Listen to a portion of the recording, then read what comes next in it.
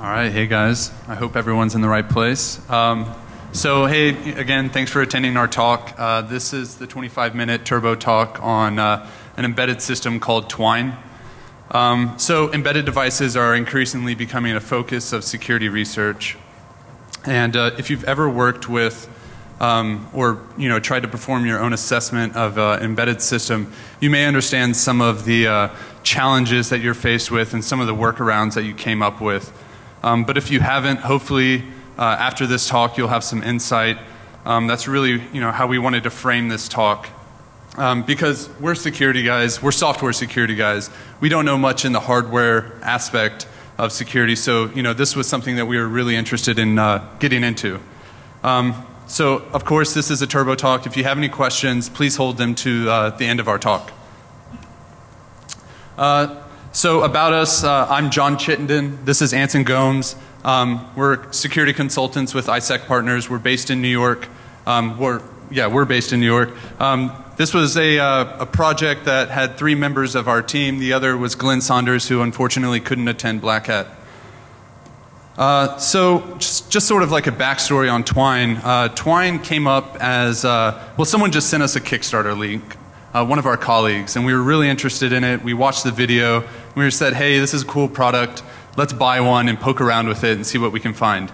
Uh, so today we'll talk about Twine, what it is, how you would use it. Then we'll also just talk about our setup, our analysis, what we found, and then ultimately um, some solutions for this. So what is Twine? Twine is a, uh, a, embedded system that was created by a startup in Austin called Supermechanical. And essentially, uh, their marketing material suggests that it allows you to connect your things to the internet. Um, oh yeah, and without a nerd degree, which I think is kind of cute. Um, but at any rate, essentially what it allows you to do is detect changes in your environment, wherever Twine is, and then communicate these changes to you. So uh, as a use case example, let's say your basement was prone to flooding. You may connect a moisture sensor to your Twine, and then once that's connected, uh, when it detects wetness or moisture, um, it'll communicate that to you. Uh, so you can break it up into a couple of components. Uh, the first is the input. So for Twine, you have your environment, and the sensors are constantly pulling. Um, you have a variety of sensors here, and it's constantly pulling um, and then packaging up and sending this out to the uh, Twine backend. Now the Twine backend allows you to create this uh, conditional rules so if a certain condition is met, then you know perform this certain um, output.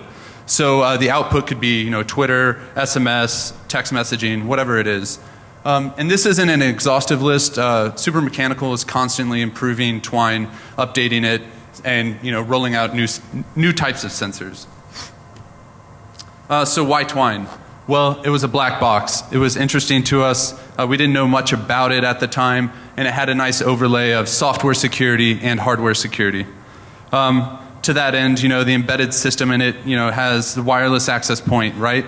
Um, it also has a web server, two different types of firmware on there, um, and some other really interesting components. Um, so as far as like the attack surface goes, it's varied, right? There's a lot going on here. There's a lot of interesting components. And as I mentioned, we're software security guys sort of delving into the world of hardware security. So it's a nice little overlap. Um, as far as the application components go, you have a web server. So when you configure Twine, you flip it over, um, it becomes its own wireless access point, and you can con connect to that. Once you've connected to it, it has its own local web server where you will actually set up and configure the device itself. Um, so once it's configured, you flip it back over, it connects to your wireless access point, and then um, you know have fun with it, right? So as far as like the uh, other components go, uh, the rule sets, uh, these are the conditional rule sets that I mentioned earlier, and then it's also communicating over TCP and UDP. Um, as far as the hardware components go, you have this uh, Gainspan system on a chip. This is really the brains of Twine itself.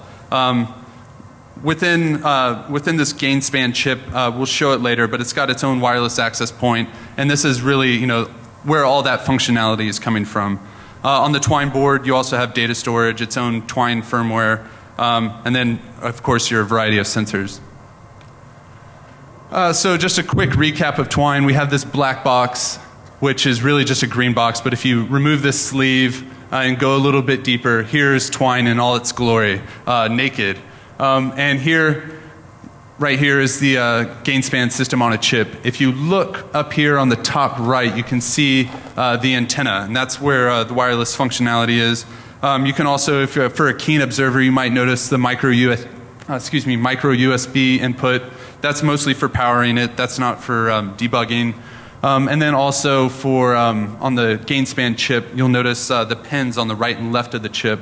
Um, that'll come up again later, but that's where your UART and JTAG um, and a bunch of other uh, interesting little pins are.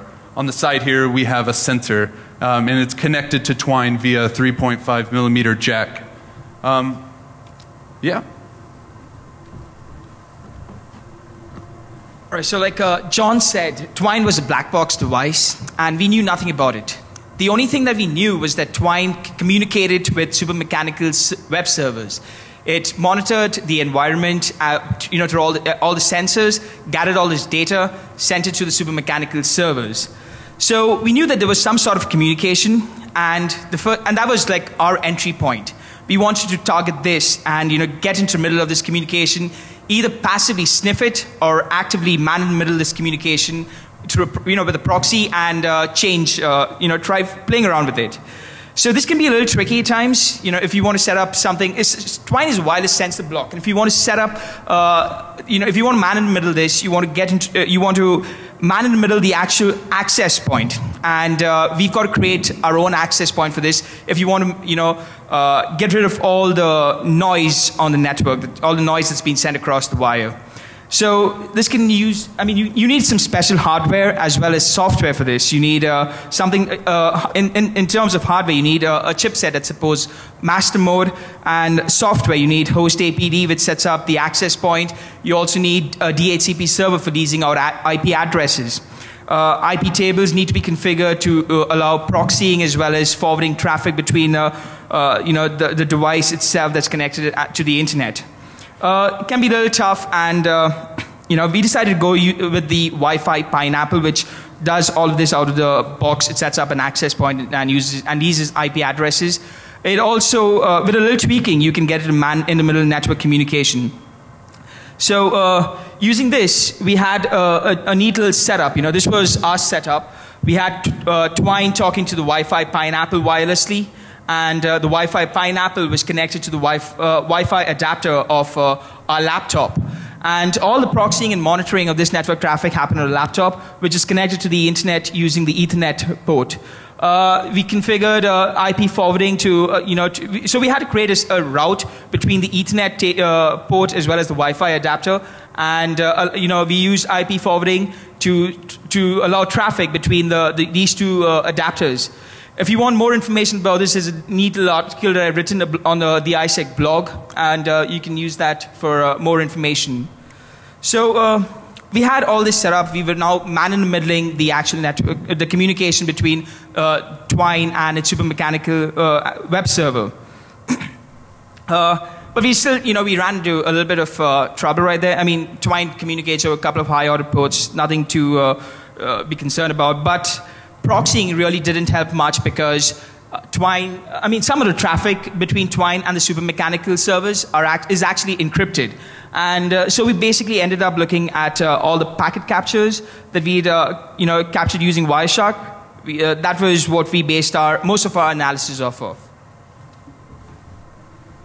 So right, as uh, Anson, Anson mentioned, at this point we have a bunch of wireless PCAP files. Um, and we understand that Twine is at some, at some level communicating with the Twine backend, but we don't know how. We don't really understand the protocol. So we began poring over um, the Wireshark captures, and you know, you had these data blobs that looked a lot like this. Now, granted, you would have the ASCII representation of some of these characters, so uh, this might pop out to you. Uh, this is actually POLL, so P-O-L-L. Um, and if you think about it a little bit, if you were performing malware analysis and you wanted to know how a piece of malware communicated with the CNC server, uh, you need to take a step back and realize that, hey, uh, this is a well-defined language that it's speaking, right? Um, it needs to know how, how much to parse into uh, the hex stream or the binary stream and understand, all right, this is, you know, uh, the, the field for the type of message, a POLL message.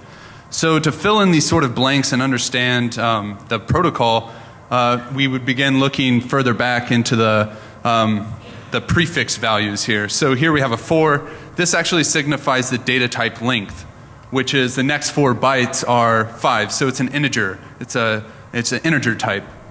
And that's actually the length of the poll message with a null terminated string, right? So if you take that simple example and apply it to the rest of it, things start to become more clear and you start to understand how Twine is actually working. So the poll message itself is um, essentially just a heartbeat with the uh, Twine backend. Um, and here we have a number of different fields, the Twine identifier which is unique to every Twine, the message type, uh, the firmware version, and the RSSI which is the received signal strength indicator. Uh, and that's again just the Wi-Fi signal strength with the access point. Um, and now the server will respond in a couple of different manners. Uh, the first is just generally a null, which does do nothing. Um, and then the second, or the, the last two, wake up and arm flash, are linked together. It's essentially waking up the Twine device and preparing it to be uh, updated and flashed. So um, in addition, we have the UDP data message. Um, and as Anson had hinted at, there is some sort of encrypted magic happening. Well, it turns out that the UDP data message is all the sensor data being transmitted to um, the Twine backend. And again, you know, if we look back here at the TCP messages, they follow a very similar pattern. We have the Twine ID, the message type, so this is a UDP data message. Um, and then we have this huge encrypted blob, right? Well, it turns out that this encrypted blob is all the sensor data um, everything on the onboard Twine device and everything connected to it. It gathers this all up, encrypts it, and then packages it and sends it out to uh, the Twine backend. So just to recap, um, we have two avenues of communication occurring here. We have one from the server to Twine and then one from uh, Twine to the server. Um, Twine to the server is occurring over TCP and UDP. It's roughly every 45 seconds. Um, and from server to Twine, this is predominantly uh, or only over TCP. Um, and we have three different um, responses, null, wake up, and arm flash. Um, and now the, the updating process for the arm flash, this could be for rules if you were pushing down new rules to Twine, or if you were to update the actual uh, Twine software. So we've seen that uh, some of the data sent between uh, Twine and Supermechanical is actually encrypted. But uh, we've also seen that at least the poll message isn't. You know, we can see uh, the actual poll message and the responses sent from the supermechanical servers, and that's all in plain text. So uh, this here is a screenshot of a packet capture where uh, we, you know when we when we updated the rules on the website, it sent down a, uh, these uh, it sent down these rules to the Twine device itself, and uh, here, if you look a little closer, we see uh, Jonathan's email address as well as the message that uh, Twine is supposed to send to his email account. You know, this is personally identifiable information, and uh, it shouldn't really be, uh, you know, publicly accessible to anyone that's sniffing on the network. You want to protect this with some sort of uh, network, uh, you know, network security protocol, and just prevent any unwanted information from being uh, displayed or accessible to anyone passively sniffing on the network. Well, this is, uh, this is plain text message. What about encrypted message? We know that the sensor data that's being sent across from Twine to uh, the servers is actually encrypted. But, uh, I mean, the simplest thing when, in an encrypted message is just replaying that. And uh, that's exactly what we did. Let me pull up a real quick demo right here.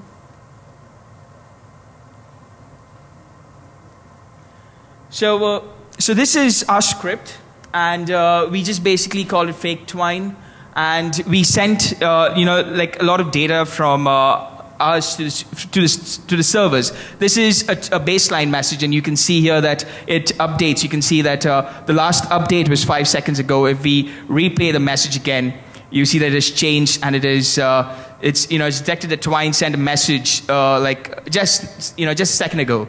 Uh, in the same way, we can, we can get, you know, after capturing sensor data, we can get it to replay all this sensor information. Like uh, we can tell, to, uh, uh you know, we can trick the server into thinking that Twine is wet by just sending it uh, a packet data, a UDP packet with the sensory data for uh, it being wet. the same way, if, if it's dry, you know, if we change it to dry, we see that it's dry.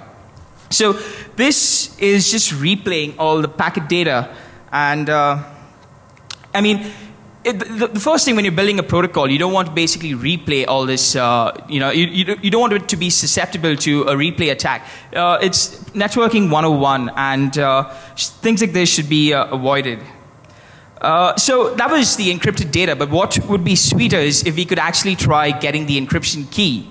Uh, so we have access to Twine, and uh, we thought that uh, you know maybe interacting with it, getting terminal output or access. You know, we could if we could send it some commands or uh, try interacting with the file system, maybe we could get somewhere with this. Uh, so that's exactly what we did next. so we tried getting terminal output, and in order to do this, you need to understand the hardware. We knew, I mean, we knew the serial numbers of the chips. We knew everything uh, about the hardware on the, on, the, on the board itself. And a little Googling around got us the data, data sheets for these uh, chipsets.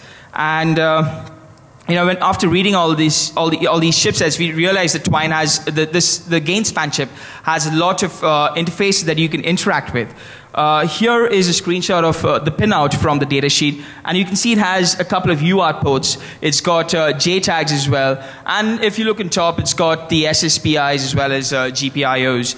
Interesting uh, interfaces that you can interact with Twine, and we decided to stick with, I mean, you know, being uh, software security profession, we decided to stick with uh, the easiest, which is the UARTs. And uh, we use the hands for that. You know, we use the fingers and connected the pinouts, and uh, bang, we got terminal output. So if you look at this, it's pretty, you know, it's pretty standard. It's, it's booting for the first time. You see the version ID, uh, the version number, which is the date and timestamp, which you've also seen in the uh, uh, packet catches. You also see the Twine ID. I mean, this confirms our, you know, our uh, initial uh, thought that uh, that was the actual Twine identifier in the packet. And you see the MAC address as well.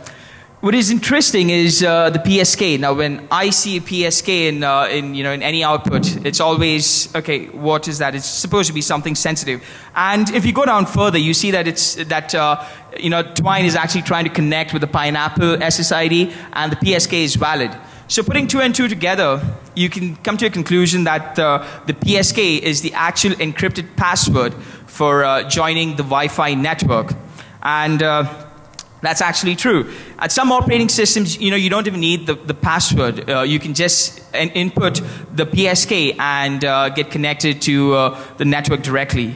Additionally, you can also see, uh, you know, that it's trying to connect to super mechanical servers, sending it a poll message, UDP uh, uh, message as well, the size of the UDP packet that it's actually sending.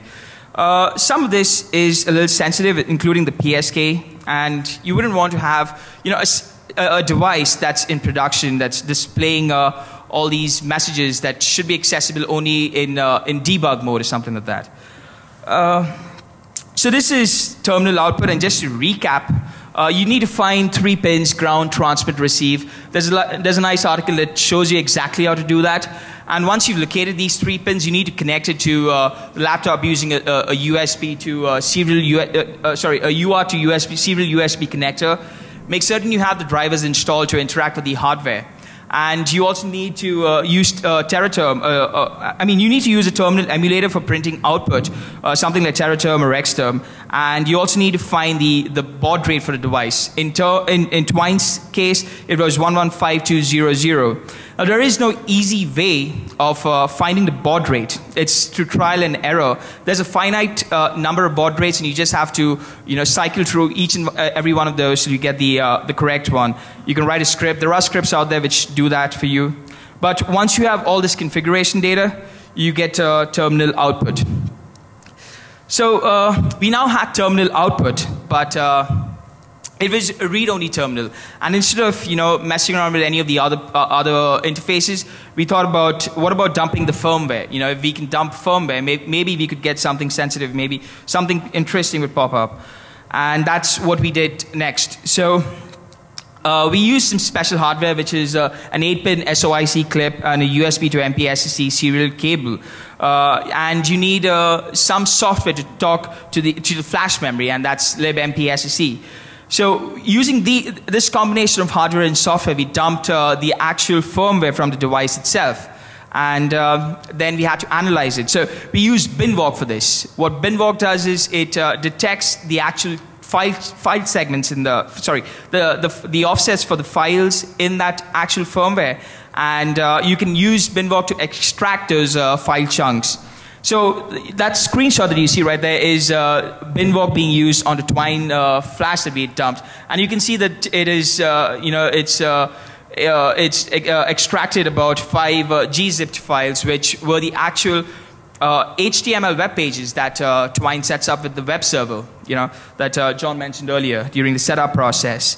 the, the, the GIF image is the actual Twine logo, and the LZMA compressed image. Now that's interesting that was a binary file that uh, you know we could then load up into IDA and start and just start start reverse engineering it. I'm not going to talk about this due to time constraints, but uh, that's one side of the firmware that we actually dumped and uh, you know started reverse engineering. There is another firmware that you can dump as well, and uh, that's uh, through the packet capture. So John mentioned that there are two types of uh, you know, updates that are sent down to, uh, Twine itself. One is a hardware update for the system chip, and the other is uh, the firmware that's pushed down to uh, Twine in, you know, uh, when you make an update to the rules, rule sets. And uh, so this screenshot is, is, is a, a, packet capture of the firmware being pushed down to Twine. It starts off with, with Twine sending a poll message, the server responding with an ARM flash, and Twine says, all right, let's start the flash. And the CRC checks, uh, and uh, it then sends this entire chunk of data, which is uh, a firmware. And we use dpacket and Python to extract this firmware. Again, you know, once you've extracted it, it's uh, all about reversing that uh, firmware. And uh, that's where we're at at this point. All right. So to uh, sort of wrap things up, you know, the Internet of Things is one of these buzzwords that's uh, around a lot, and security research is definitely focusing on embedded systems. Um, you know, as far as uh, like small startups go, they're starting to get into this space a little bit more, and you're seeing more devices and more things being added to this Internet of Things. So, um, you know, we find it necessary for people to sort of understand some of the security and privacy risks. Um, in Twine's example, uh, you know, they could simply just extend their current crypto implementation to protect uh, the user data that's being leaked. Um, then also as far as their protocol goes, you know, fixing a replay attack is, you know, should be fairly trivial, I would think. Um, you know, just include some sort of timestamp or nonce and have some sort of logic to verify that. Um, that said, also don't print sensitive data to consoles on production devices. Um, and with that, uh, we're sort of done. So if you have any questions, uh, feel free to ask now or contact us via uh, email or Twitter.